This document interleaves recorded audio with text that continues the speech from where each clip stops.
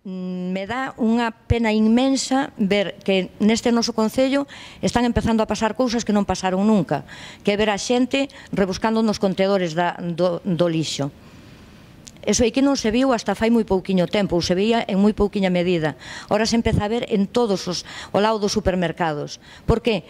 Porque as nosas institucións non teñen a capacidade eh, para mirar por esas cousas eh, o dos desfiuzamentos, vímolo estes días co tema da, da, da familia esta da, da Ponte. Eh, estáse perdendo a humanidade. Mm, eu quero, eh, quero ver que a humanidade volve á política e que os políticos son humanos.